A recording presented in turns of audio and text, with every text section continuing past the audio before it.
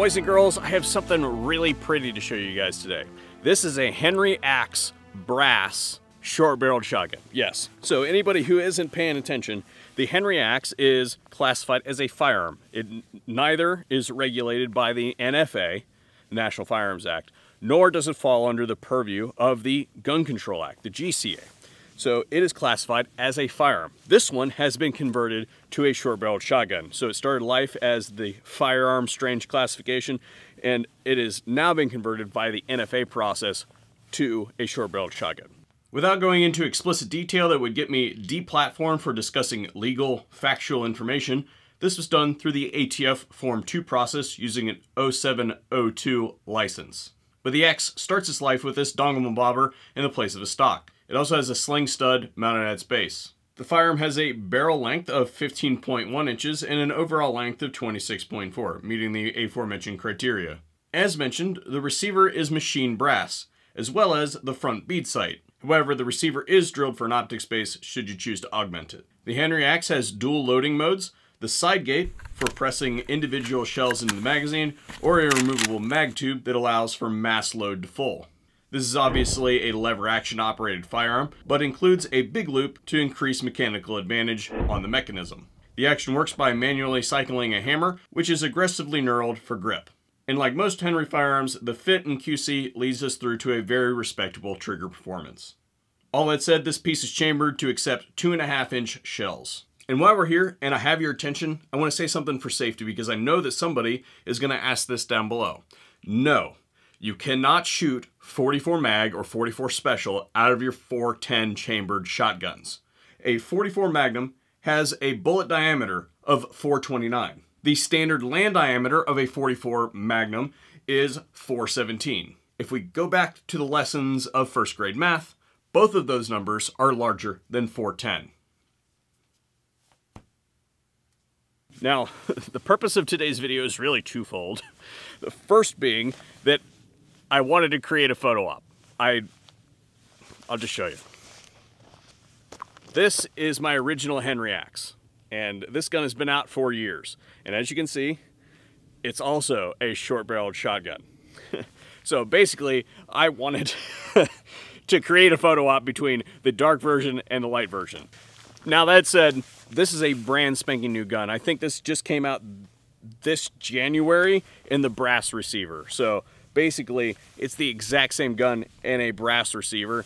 Now, unfortunately, given the way the situation with ammunition is in the country, we're not going to get to do a whole lot of shooting of this gun today because I have very few compatible shells and I will basically bump to a video of when I first got this thing in testing to see if the shells that I had were compatible because 410 ammunition is nearly impossible to find these days.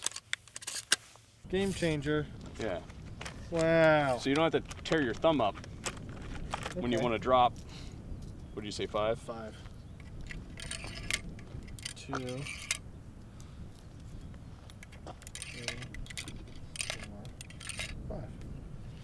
And then if you want to shoot six, you just work it. Right. And then you put the one in the loading Shove gate. Shove one in.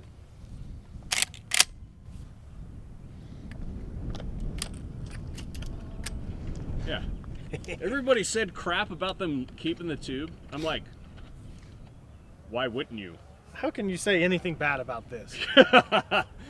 Every American needs to have one of these guns. Yeah. I'm totally SBSing that thing. Like, as soon as I get back to the house, I'm submitting the form. I need one of these.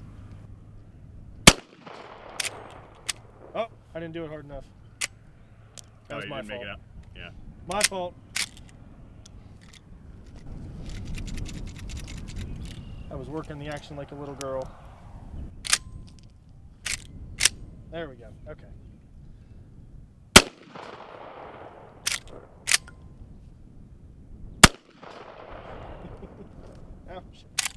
Yeah, I suppose that's the thing. Well, now we were flawless at first, and now uh, we're sticking. No, it won't. It, it doesn't like those shells. It does not. Yeah, that's unfortunate. That one's stuck. So what that is, is you can see this short brass round. There's actually a taper around the rim. And the only thing that I can conclude that this is for are those break action shotguns that don't have very good extractors so that you can basically take your fingers and pry it out of the the uh, the breech of the weapon. So I find that in neither of these Henry axes will this ammunition run. And it just it's unfortunate because I have like 2,000 rounds of this stuff and it won't work in any of the guns. And I don't have a gun that does the break action thing. So here I am. That said, I have found a few shells that I believe to be compatible, or at least they should be because they're compatible with the other gun. So here we go.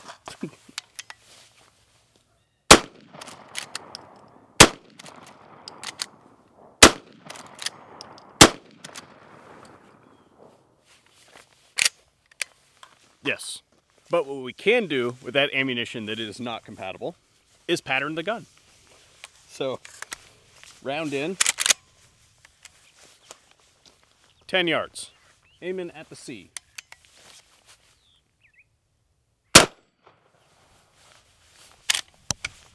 Huh. It ejected that time.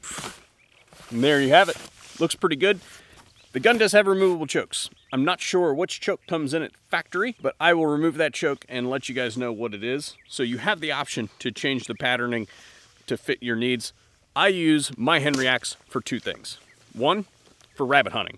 It's a lot of fun to have just a little short gun like that, lightweight, uh, particularly because when I rabbit hunt, we hunt with dogs, I like to get right in the thicket.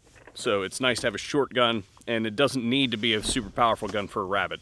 The other thing I use it for is in the wintertime, the way my power lines come in to the house, the, the gutter can, particularly when it freezing rains, can start to weigh down the power line and when it gets windy I can literally watch the lights flicker a little bit. I use the Henry axe to basically shoot the ice that's hanging from the gutter and knock it off of the gutter and the power line. I know that that's probably not an approved way to use it, but hey, it works.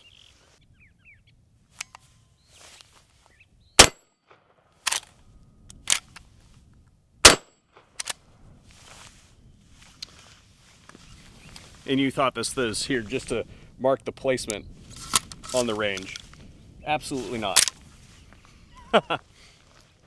Finishing up filming on a different day and the storm is rolling in. So we're gonna try to close this one out and it looks like I cut myself.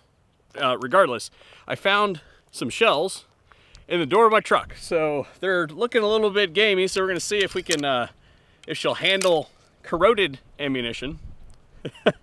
Who knows? We'll find out here. Man, I'm bleeding all over the place. I don't, I don't know, man. Ooh, I just cut myself again. Ooh, this is not... I smeared all kinds of lube all over this gun. What's wrong with you today, Kurt? I need a towel. Bar towel. if you don't get that reference, you're wrong. All right, before I get all kinds of blood all over this thing, good lord, let's close her out.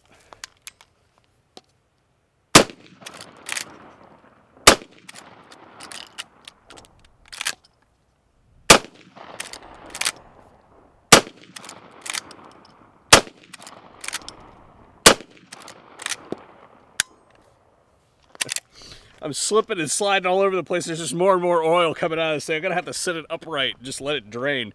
Thank you guys for watching. Uh, I, am sorry that I didn't have more ammunition to, to test the gun. We've done previous videos on the Henry Axe. You'll have to go watch those to learn more about it.